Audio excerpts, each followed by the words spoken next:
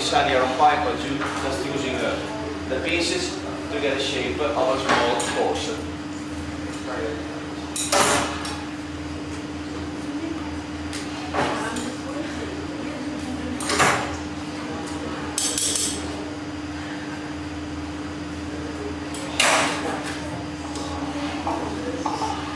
Remember this one here is just a, a small demonstration because the real production stay in Murano Island, where there's our factory that sent to us all of the items that you see here, as chandeliers, for example, and mirrors, and also other selections of items.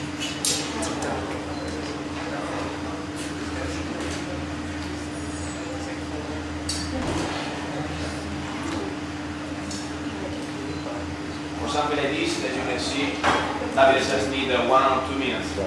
But sometimes for other bigger sculpture, take also days and weeks or more. So it's